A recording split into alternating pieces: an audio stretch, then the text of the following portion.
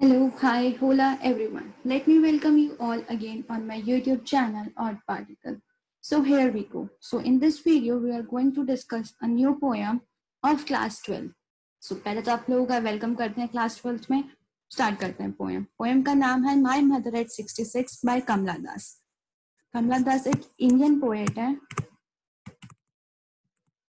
born and brought up in Kerala. ठीक है? इतना आपको थोड़ा बहुत ये कुछ कहीं पूछा नहीं जाएगा बट आपकी कॉमन सेंस आपकी थोड़ी जीके बढ़ा देते हैं। ठीक है? अब पोएम को समझने के सबसे पहले हमारा टारगेट होता है इसका टाइटल को पढ़ना। तो टाइटल में आता है my mother at sixty six अब 66 नंबर है, आप समझते हैं 66 क्यों यूज़ किया गया है? 66 यूज़ करने का बेसिक रीजन ये है कि ये आपको बता रहा है एक इंडियन की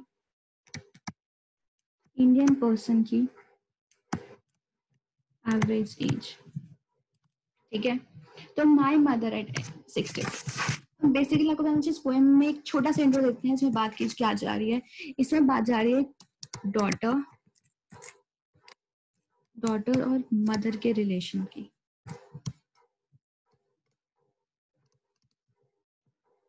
के रिलेशनशिप की बात की जा रही है कि क्या रिलेशनशिप है एक माँ और बेटी का। सिर्फ़ माँ का, माँ और बेटी का नहीं मतलब पेरेंट्स और बच्चों का क्या रिलेशन है वो बात की जा रही है। तो हम चलते हैं अपनी पोएम स्टार्ट करते हैं बिना कोई टाइम वेस्ट किए। My mother at sixty six I hope कि आपको टाइटल समझ आ गया हो क्योंकि टाइटल से ही आप पोएम को समझ सकते हैं। My mother at sixty six Driving from parents' home to coaching last Friday morning, I saw my mother beside me. Doors, open mouth, her face ashen like that of a corpse, and realized with pain that she was as old as she looked, but soon put that thought away. And अब बात करते हैं driving from my parents सबसे पहला question जो आपके दिमाग में सॉरी फॉर द डिस्टर्बेंस पहला क्वेश्चन जो आपके दिमाग में आ रहा है ना वो आता है वेयर शी इज़ गोइंग ठीक है? आपको पता होना चाहिए वो पेरेंट्स होम से कहा जा रही है? कहाँ देखा हमने? She is going to coaching ठीक है? पहला लाइन जो आपके लिए इंपॉर्टेंट है, वो ये चीज़ है कि वो कहाँ जा रही है? होम टू कोचिंग जा रही है। अब क्यों जा सकते हैं? बेसिकली आप बताइए क्यों जा सकते हैं? हम दूसरी जगह क्यों जाते हैं? देखिए, हम शायद मेरा एजुकेशन वहाँ मतलब मैं पढ़ने वहाँ, दूसरी जगह जा रही है वो। या फिर वहाँ पे उसका जॉब हो, वहाँ पे उसकी ऑक्यूपेशन हो, वहाँ पे उसकी कंपनी हो, वहाँ पे वो काम करती हो। अब बेटी है, बेटी की शादी करवा देते हैं। तो शायद बेटी का इन लॉ वहाँ पे मतलब डॉटर की इन लॉस वहाँ पे रहते इन लॉज से मिलने जा रही है वो। ठीक है? वेयर शी इज़ गोइंग और वाई वाई वाला ज़्यादा इंपॉर्टेंट क्वेश्चन नहीं है बट फिर भी आपको नॉलेज पता होना चाहिए। ठीक है? कब जा रही है last Friday last Friday morning I saw my mother beside me अब बात करते हैं कि पोया में हमें आगे पता चलेगा कि वो अपनी, वो मदर अपनी डॉटर को एयरपोर्ट छोड़ने जा रही है। तो वो देखते हैं I saw my mother beside me they were travelling by car तो बाया कार ट्रेवल कर रहे हैं वो। ठीक है बाया कार तो साथ में उसकी मदर भी उनको छोड़ने जाती है। तो वो मदर को अपने साथ नोटिस करती है I saw my mother beside me doze open mouth her face ashen like that of a corpse ठीक है? अब डोज का मतलब आपको पता होना चाहिए। डोज का मतलब होता है आपको शॉर्ट नाप आई नो हैंड राइटिंग गंदी है बट थोड़ा सा मैनेज करना पड़ेगा ठीक है? शॉर्ट नाप ओपन माउथ अब बताइए ग्रेजुएट जैसे जैसे हम ओल्ड होते हुए जाते हैं, हमारे अपने मसल्स पे जो कंट्रोल होता है ना, वो कम होता हुआ जाता है। तो वही मसल से कंट्रोल जो है लेस होने की वजह से बताया गया है कि उनकी मदर जो सोते थे उनकी जो मुँह है, वो खुला हुआ है। She might be she might be breathing from her mouth क्योंकि हम नोज़ और माउथ दोनों से ब्रीथ करते हैं तो might be she was breathing through her mouth ठीक है? Her face ashen like that अब याद रखिएगा, यहाँ पे जो है ना कंपैरिजन किया जाता है। कंपैरिजन किया गया है। किसका कंपैरिजन किया गया है? मदर और कॉप्स का। कॉप्स पता है क्या है? नहीं पता। चलो मैं बता देती हूँ। I am there for your help ठीक है? तो कॉप्स का मतलब होता है डेड बॉडी अब तो पता चल गया, अब तो मैंने देसी भाषा में बता दी। देसी भाषा देसी भाषा में इसे क्या कहते मुर्दा कहते हैं, ठीक है? I got it I got that word मुर्दा कहते हैं हम देसी भाषा में। चलिए, आगे देखते हैं। मतलब उसकी जो मदर है, वो डोज कर रही है शॉर्ट नैप ले रही है। ओपन माउथ है, क्योंकि उनकी मसल्स पर उनका कंट्रोल जो है, वो कम हो चुका है। Her face ashen like that of a corpse मतलब उनका जो फेस है, वो कॉप्स डेड बॉडी को रिजेम्बलेंस कर रहा है। अब ये नहीं है कि मम्मा भूत बन गई है, ऐसा कुछ नहीं है। यहाँ पे बात की जाए, जैसे कि कॉप्स होती है, वो डरावनी से थोड़ी लगती है। डरावनी इन द सेंस मतलब उस पर कोई चाम नहीं है, कोई ब्यूटी नहीं है, वो बात की गई है। ठीक है? मतलब कोई जान नहीं है उसमें, बेजान चीज़ है। ठीक है? तो वही बात की जा रही है कि हर फेस मतलब उनके फेस पे वो चाम नहीं रह गई है, वो ब्यूटी नहीं रह गई है, वो जान नहीं है। मतलब वो उतनी खूबसूरत नहीं रह गई है जैसी वो अपनी यंगर डेज़ में थी। एंड रियलाइज़ विद पेन बताइए किसी का कंपैरिजन अगर मैं कॉप्स के साथ कर रही हूँ तो अच्छा है या बुरा है? डेफिनेटली बुरा है, मैं कंपेयर कर रही हूँ डेड बॉडी के साथ। अब बात की जा रहा है यहाँ पे ओल्ड एज के साथ, ठीक है? ओल्ड एज के साथ। अब धीरे धीरे जो पर्सन ओल्ड हो रहा है तो अब पोएट को रियलाइज़ विद पेन मतलब उन्हें नोटिस किया, ये सोचा कि that her mother is approaching her death now मतलब she is close to her death मतलब उनकी मदर बूढ़ी हो चुकी हैं और वो अपने लास्ट डेज़ में हैं। And that she was age old age she look और वो मतलब बहुत बूढ़ी हो चुकी है और वो बूढ़ी दिख रही हैं बेसिकली साथ में। But soon put that thought away अब बताइए, ये वाला थॉट जो है, अपनी मदर का डेथ वाला, क्या कोई अपने दिल में संभाल के रखना चाहेगा? नहीं रखना चाहेगा। हम पेरेंट्स हम पेरेंट्स से दूर होना पसंद नहीं करते। हम बच्चे हैं हमेशा अपने पेरेंट्स के साथ क्लोज होते हैं। तो अब बताइए हम कोई भी अपने पेरेंट्स की डेथ की बात को नहीं सो, सोचना चाहेगा।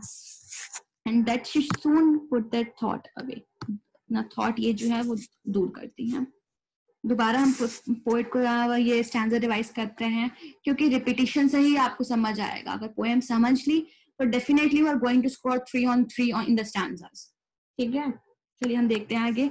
Driving from my parents home पहला क्वेश्चन आपका आता है where she is going parents home से कोचिंग जा रही है, किससे जा रही है, कार से जा रही है, कब जा रही है? लास्ट फ्राइडे मॉर्निंग जा रही है। ठीक है? I saw my mother decide me अपनी मदर को साथ में वो देखती हैं। Doze short short nap short nap को और क्या बोल सकते हैं हम? हाफ़ अस्लीप ठीक है? मतलब वो हाफ़ अस्लीप है। स्लीप ठीक है? ओपन माउथ ओपन माउथ का मतलब ये है कि उनकी मसल्स पे कंट्रोल कम रह चुका है।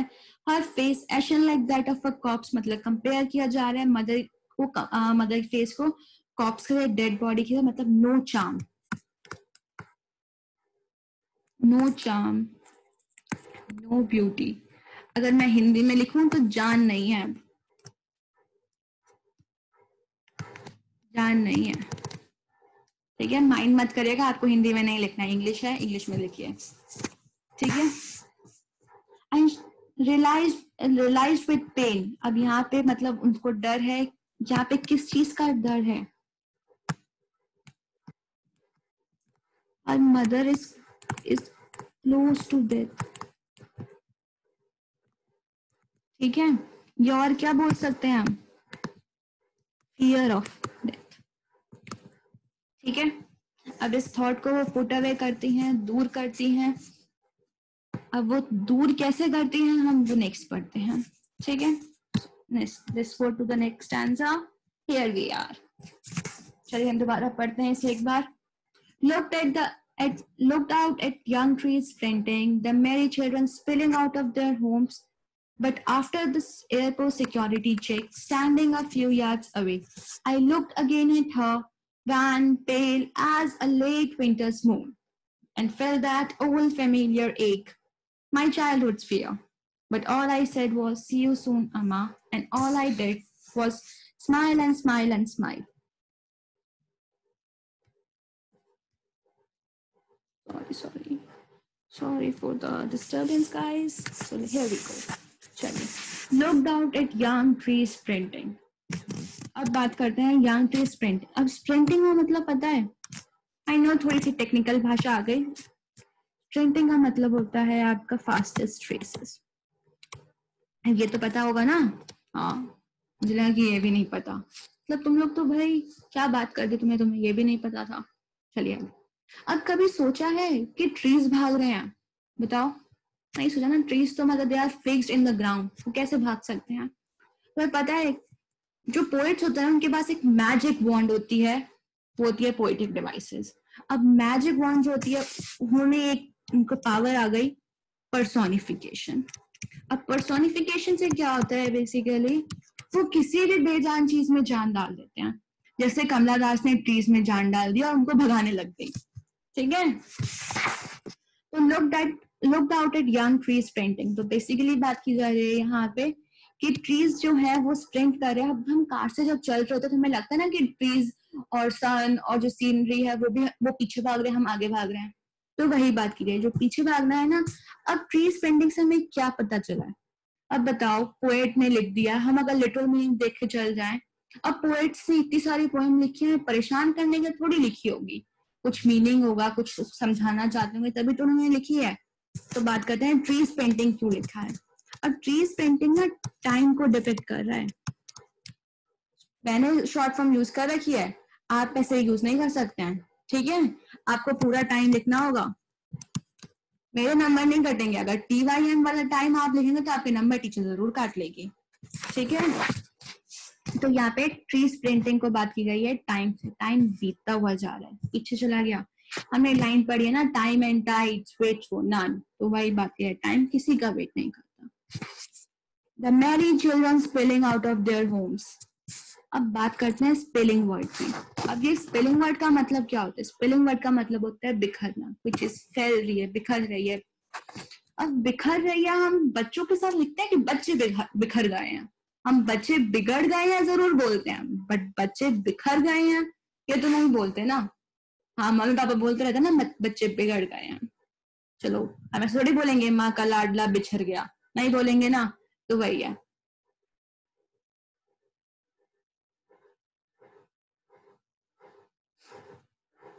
तो स्पिलिंग का मतलब हो स्पिलिंग जो हम यूज़ करते हैं, वो बिखरने के लिए यूज़ करते हैं, वो आता है लिक्विड्स के साथ।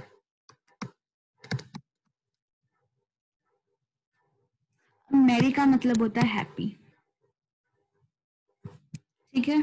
हर अब बच्चे जो है, अपने घर से बाहर आ चुके हैं। बाहर चीज़ें मतलब छोटे छोटे मतलब बच्चे जो हैं, वो बाहर खेल कूद रहे हैं। दे आर हैप्पी अब बात यहाँ पे मेन चीज़ आ जाती है। अब कंपेयर किया गया दो सिनेरियोस को यहाँ पे। कौन से दो सिनेरियोस को? एक कार के अंदर वाला सिनेरियो दूसरा कार के बाहर वाला सिनेरियो ठीक है? आपको समझ आना चाहिए ये चीज़। अब कार के अंदर जो मदर है, वो क्या है? अपने एंड के, के काफ़ी क्लोज है? She is approaching her death she is very close close to her death अब कार के बाहर जो है वो बच्चे they have just started their life तो वही बात यहाँ पे कंपैरिजन किया गया दोनों सिनेरियोस का कि कार के अंदर कैसा सिनेरियो है और कार के बाहर कैसा सिनेरियो है आई होप आपको ये चीज़ इतनी चीज़ समझ आ गई हो। आगे पढ़ते हैं। अब मैंने बोला था ना कि वो एयरपोर्ट जा रहे हैं कार से जा रहे हैं तो मेरे को कैसे पता चला? मैंने तो पोएम पढ़ लिया है। पर तुमने नहीं पढ़ी थी। तो आगे लिखा हुआ है but after the airport airport तो मतलब मतलब प्लेन से जा रही हैं वो। Security check standing a few yards away मतलब एयर जो सिक्योरिटी चेक मतलब आगे जाने के बाद, अब जो सिक्योरिटी चेक होता है और जो मेन एंट्रेंस होती है, उसमें डिस्टेंस होता है। तो वहाँ पे बीच में दोबारा अपनी मदर को वो देखती हैं। Look that wan pale wan का मतलब पता है? नहीं पता यार, ऐसे मतलब तो तुम्हें कुछ नहीं पता। अब मैं चाहती हूँ ट्वेल्थ आ चुकी है इंग्लिश पढ़ लो बच्चों। अब वैन वैन का मतलब होता है डल, ठीक है? टेल टेल का टेल का मतलब होता है कलरलेस ठीक है? अब बात करें दोबारा अपनी मदर को उसने देखा, उन्होंने देखा, दोबारा देखती हैं, वो बैन है मतलब उनका फेस जो है डल है पेल है कलरलेस है। मतलब चाम नहीं है नो चाम नो ब्यूटी अब आगे कंपेयर करिए as a late winter's moon यहाँ पे फिर कंपैरिजन आ गया है। कंपैरिजन किसका आ गया है? विंटर्स मून और मदर का। ठीक है? इन दोनों का कंपैरिजन है। कभी चाँद से बातें की हैं? यार पोएटो ने तो चाँद से भी बातें कर ली हैं। तो उनकी भाषा में समझते हैं। अब जो विंटर्स का जो चाँद होता है ना, वो थोड़ा डल होता है। थोड़ा सा उसकी जो ब्राइटनेस है ना, वो थोड़ी सी कम होती है। तो वही बात की गई है, जो उसकी ब्राइटनेस है, वो कम होती है विंटर्स में। ब्राइटनेस जो है वो कम होती है। तो पोएट कहना चाहती है कि जो उसकी मदर का फेस है ना, वो विंटर्स मून की तरह हो गई जिसमें जान नहीं है ब्राइटनेस कम मतलब ब्यूटी चार्म सब कुछ लूज कर चुकी हैं वो। ये बातें इंपॉर्टेंट लाइन है स्टैंडर में आ सकता है पूछने के लिए आपसे। And felt old familiar ache. Familiar का मतलब होता है जाना पहचाना। और एक का मतलब क्या होता है? एक का मतलब होता है दर्द। कोई पेन ठीक है? अब पोएट कहती है फेल दैट ओल्ड फेमिलियर एक मतलब दोबारा से कोई पुराना एक मतलब जो जाना पहचाना, जो दर्द है ना, वो दोबारा से आ रहा है। दोबारा वो महसूस कर रहे हैं। कौन सा डर? कौन सा दर्द? माई चाइल्डहुड फियर अब सभी बच्चों का, बचपन का डर क्या होता था? मम्मी छोड़ के ना चली जाए। तभी तो मम्मियों का वेपन होता है कि तुम मेरी बात नहीं मानोगी तो मैं छोड़ के चली जाऊँगी। मैंने भी बहुत सुना है अपने बचपन में। और तुम लोगों ने भी डेफिनेटली सुना होगा। सुना है ना? किसी की मम्मी कहीं और से तो नहीं आई थी ना? हाँ ज़रूर बताइएगा। माई चाइल्डहुड फियर मतलब बचपन में सबको डर आता है कि उनकी मदर कहीं छोड़ के ना चले जाए।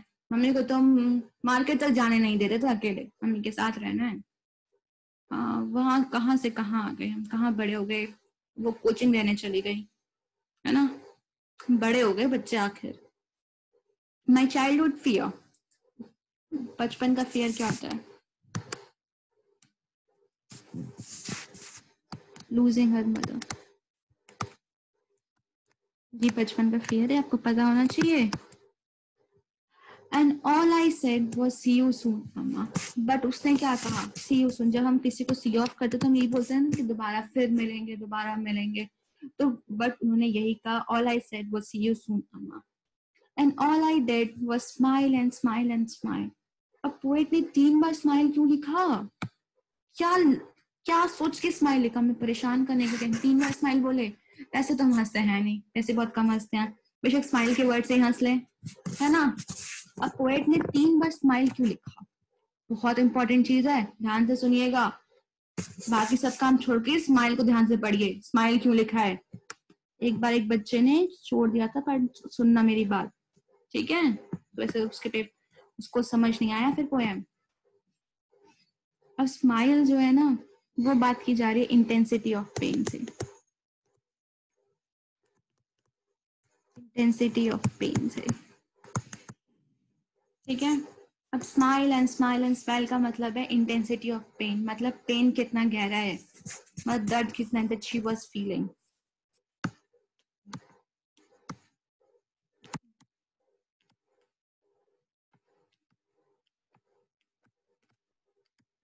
that she was feeling. ठीक है? मतलब वो दर्द वो महसूस, जो दर्द वो महसूस करती है, उसकी बात की गई है। चलिए देखते हैं, दोबारा पोएम रिवाइज करते हैं। Looked up on young tree sprinting sprinting का मतलब होता है फास्टेस्ट रेसेस ट्रीज के साथ पर्सोनिफिकेशन यूज़ किया गया है। मतलब टाइम बीतता हुआ जा रहा है। In the merry children spilling out of their homes spilling का मतलब होता है बिखरना। तो वो लिक्विड्स के साथ होता है बेसिकली तो यहाँ पे चिल्ड्रन के साथ उसके डिफरेंटली यूज़ किया गया मैरी का मतलब हैप्पी आउट मतलब छोटे बच्चे घर से बाहर निकल के अपनी मौज मस्ती की दुनिया में खेल कूद रहे हैं। मतलब they are away from all the greediness of the world और द क्या बोल सकते हैं? मतलब वो दुनियादारी से दूर है। ठीक है? But after the airport security check, standing a few yards away, I looked again at her wan, pale, and as a lay, late winter smooth मतलब बैंड डल टेल का मतलब कलरलेस मतलब उसके फेस को दोबारा वो देखती हैं और दोबारा लगता है कि वो कलरलेस है डल है। मतलब अपनी ब्राइटनेस लूज कर चुकी हैं, अपनी चाम लूज कर चुकी हैं, अपनी ब्यूटी लूज कर चुकी हैं। और ये सब देखने के बाद पोएट को सिर्फ़ एक ही चीज़ फील होती है, वो है उनका ओल्ड फेमिलियर एक, उनका बचपन का डर। कौन सा डर? अपनी मदर को खो देने का डर, वो दोबारा वो फील करती हैं। और अब बताइए क्या ये सारी चीज़ें अपनी मदर से वो शेयर कर सकती थी? कर सकती थी बट किया नहीं। क्यों नहीं किया? क्या बच्चे मतलब अब जब हम बड़े जाते हैं, क्या अपना हर एक डर अपने पेरेंट्स को हम बताते हैं? उसको इस बात से डर था कि अपनी मदर को वो लूज ना कर दे, खो ना दे। ये डर ग्रेजुअली नहीं बता पाती वो, और उसने भी नहीं पता मतलब अंदर वो कुछ और फील कर रहे हैं और बाहर से उन्होंने क्या कह दिया मदर को? ऑल आई सेड वो सी यू सून अम्मा। उन्होंने सिर्फ़ इतना कहा कि see you soon and all I did was smile and smile and smile और उन्होंने सिर्फ़ अपनी इंटेंसिटी ऑफ़ पेन दिखाने के लिए तीन बार ये वर्ड स्माइल यूज़ किया है। काफ़ी इंपॉर्टेंट चीज़ है। आपको पता होनी चाहिए। ठीक है? पोएम तो खत्म हो गई है। अब पोएम से क्या मैसेज मिला आप लोगों को? कुछ तो मैसेज मिला ही होगा। अब बात करते हैं। इस पोएम से आपको मैसेज यही मिला है कि हमें जिस जैसे हम धीरे धीरे बड़े होते हुए जाते हैं। देखिए, यहाँ पे एक और चीज़ ध्यान रखिएगा। यहाँ पे उसने लिखा सी यू सून अम्मा। क्या सी यू सून अम्मा क्या पोएट को लगा पोएट को किस चीज़ का डर था that she is going to lose her mother but वो बाहर से क्या दिलासा दे रहे हैं? होप दे रहे हैं। यहाँ पे एक चीज़ बताई है। इधर से याद रखिएगा, यहाँ पे एक होप बात है यार होप की। उनको होप है कि वो दोबारा मिलेंगे। Even at the time of her fear मतलब उसे डर लग रहा है कि that she is going to lose her mother but साथ साथ में एक होप भी है कि वो साथ दोबारा ज़रूर मिलेंगे। ठीक है याद रखिएगा एक चीज़। तो हम बात करते हैं इसके मैसेज की। क्या मैसेज मिलता है हमें इस पोएम से? तो बेसिकली हमें मैसेज यही मिलता है कि हमें अपने पेरेंट्स के साथ रहना चाहिए। मतलब जब वो बेसिकली जो हमारे पेरेंट्स वो हमसे क्या एक्सपेक्ट करते हैं? कि हम लाइफ में सेटल हो जाएँ, हम अच्छी अर्निंग करें, हम खुश रहें बेसिकली तो इतना कुछ हमारे लिए हमारे पेरेंट्स ने करा है तो हमारी भी तो रिस्पॉन्सिबिलिटी ड्यूटी बनती है, उनके लिए कुछ करें। अब बताइए आपकी क्या बस आपका वो थोड़ा सा टाइम चाहते हैं। आप उनके साथ दो मिनट ढंग से बात कर लेंगे तो उसी में वो खुश हैं। अब एल्डरली पेमेंट्स पेरेंट्स जो होती हैं वो आपसे सिर्फ़ आपका साथ मांगना मांगते हैं। तो अपना थोड़ा सा टाइम उनके लिए आ, उनके साथ बिताइए उनको खुश रखिए। That's all I want I can say ठीक है आई होप आपको पोएम समझ आई हो। समझ आई है ना? पक्का ना? कोई डाउट तो नहीं है? श्योर सोच लो। चलिए। अगर आपको कोई भी डाउट हो तो आप मेरे को कांटेक्ट कर सकते हैं और आपको मेरे को कांटेक्ट कैसे कर सकते हो, अब वो बात करते हैं। नीचे या तो कमेंट बॉक्स में कमेंट करके आप मेरे को कांटेक्ट कर सकते हैं, या तो डिस्क्रिप्शन में ना एक लिंक एक ईमेल आईडी लिखी हुई है, उस पर मेल कर लीजिएगा। डेफिनेटली आपको, आपका रिस्पॉन्स जल्दी मिल जाएगा, आपके जो डाउट्स है वो मैं क्लियर ज़रूर करूँगी तो feel free to contact me okay so here we are at the end of our topic and hence the end of our video okay so if you like our video don't forget to like subscribe and share please तीनों चीज कर लेना like भी और subscribe भी और share भी ठीक है so stay updated and stay tuned with Art Particle